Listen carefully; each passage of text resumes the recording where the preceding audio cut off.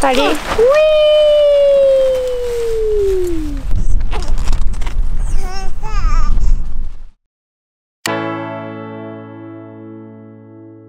Hi, my name is Martin and uh, this is Dad Gone Wild. This is a channel for every parent out there that is daydreaming about maybe taking their family and live a more quiet life. I did that and I'm gonna show you everything that is a result of uh, making that choice. And today we're gonna talk about camping with kids. It's minus 19 Celsius. I definitely should have started this series in July. But here we go, let's get this started. Yeah, and it's important for me to tell you that if you haven't been camping a lot, maybe you should start in your own garden, outside your house or something like that.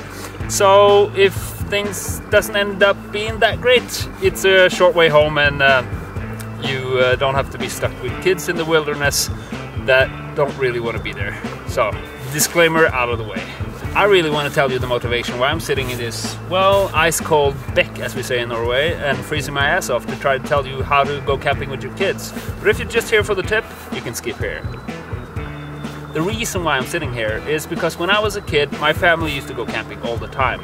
At least it felt like that. We cooked our food on fire, we made bows and arrows, we went tenting overnight, fish, and everything like that. Eventually, we started doing it so much that my cousins started calling my mom Aunt Forest, which is not great when you're 14 and want to be cool and hang out in the city. Anyways, when we moved from the city to the mountains, where we live right now in Norway, we wanted to give that experience to our kids, and uh, it became a lot easier to go out when we moved here. We have great camping spots all over the place. We had some trial and errors. We definitely had trips that wasn't that great. Eventually we found some great ways to go camping and that's what I want to share with you guys today. And just a little disclaimer, there's probably more and even better tips out there. So make sure to do your research before you go camping in your area and um, follow the laws and restrictions, I guess. Anyways, let's go. And yeah, I put a special tip at the end for dads because sometimes it's a it's a bit frustrating going camping with kids.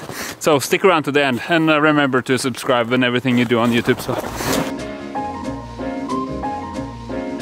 I think there's two choices there. Either you rent the gear or you buy the gear. If camping isn't your thing, it's probably better to rent or borrow from someone than to buy unnecessary gear. One, you save the money, and two, most importantly, you save the planet a whole lot of shit that's gonna be tossed out. So make sure you fully considered if camping's for you before you invest in gear. And sort of a 1.5 tip, make sure to invest in great gear because there's literally nothing worse. Well, well, there's a whole lot of things that's worse than this. That's really not the right framing, but when it comes to camping at least, there's, I think, nothing worse than waking up in a wet tent that the rain's been pouring through because the waterproofing isn't that great or that the condense hasn't gone out during the night because you breathe like this.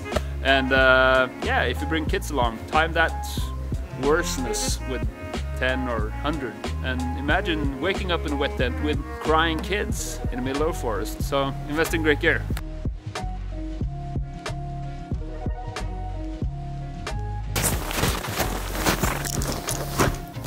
You don't need to go that far. You can go like 100, 500 meters from your car and uh, it will still be a great trip, almost like I'm doing right now. My house is like 30 meters that way and uh, you can still have a great trip. Plan a trip considering how well prepared your kids are for this trip. Should you make it shorter?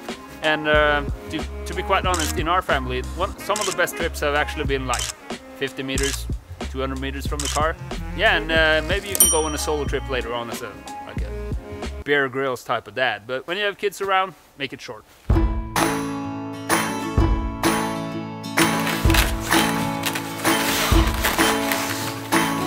That's a tight ladder. I need a workout. Pack more than you need, but don't pack unnecessary stuff. And what I mean by that is you need your emergency kit, your extra food, your extra clothes, and uh, maybe the teddy bear, pillow for the kids, pillow for you maybe. And if you're camping up in the mountains, I recommend bringing a blanket or something like that if it gets cold during the night. Yeah, and if it's cold during the night, bring a beanie that you can tighten here so it doesn't fall off because 60% of the body heat comes out of the head. So if you bring a beanie, they're warmer. Moving on. So when you find the strength Look, I'm Elsa. So tip oh, again. I'm freezing to death and my jaws are just tightening up, so little slurs here and there. But it's the life of a YouTuber in the mountains. Anyways, let's talk about food. Yeah, because when it comes to cooking, let the kids decide what's for dinner. Maybe they're excited to help you cook. We use what's called in Norway Stormkjøkken and Primus to cook our meals, and uh, I'll link them down below.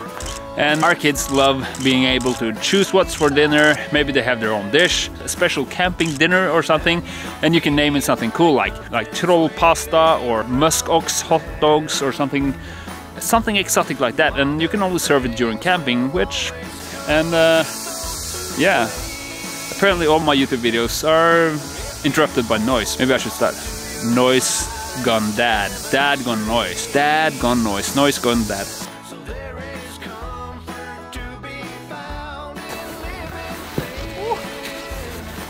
Yeah, and uh, bring a tarpaulin. It's it's called fjellduk in Norwegian, and uh, you should totally bring it along. Because good luck putting your kids to sleep during summertime, especially here in Norway, when the sun goes down at about 12 at night, and your kids won't go to sleep because the tent is just bright and sunny. Put the tarpaulin over the tent, it provides some shade, it will make it darker inside. Yeah, and if it really rains during the night, you're safe as well. So bring a tarpaulin.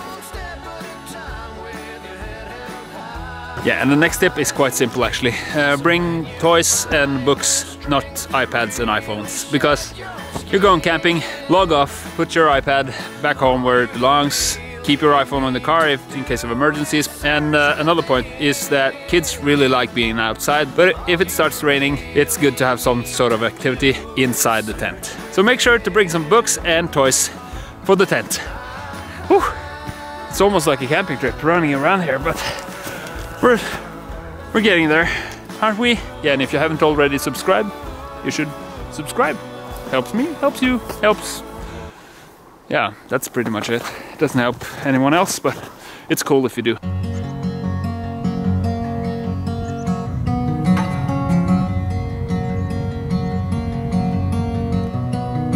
And the next tip is be prepared to wake up early. At least our experience is that kids they wake up really early when they're camping and uh, think about that the night before when you put the kids to sleep because you're gonna be waking up really early. So uh, yeah, and uh, bring coffee. Bring a lot of coffee. Yeah, you should bring a lot of coffee.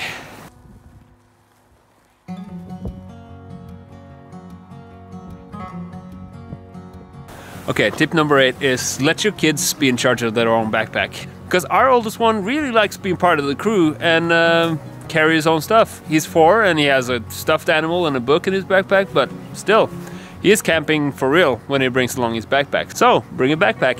Probably said backpack 12 times during that tip. Bring a breakfast that's easily prepared. During camping trips, at least I have a tendency to not sleep that well and uh, it's better to have a easily prepared breakfast that you all can enjoy and have a great time instead of stressing out over an insta-friendly breakfast. So bring something easy and uh, you can do the cool breakfast when you get home. And finally the tip for all the dads and probably moms as well is uh, breathe with your stomach, things will go slow and uh, bring a snack. And uh, yeah, enjoy the camping trip and just have fun. It's camping, it's not rocket science. It's uh, like you can camp here. My house is there. You don't need to go that far. You can just go anywhere. So uh, that's my bonus tip, I guess.